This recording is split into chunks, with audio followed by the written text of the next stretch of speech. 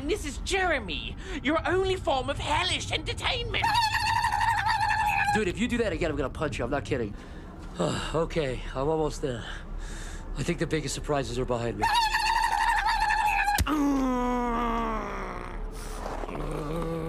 Dude, I warned you. I said I was gonna do that if you did that again.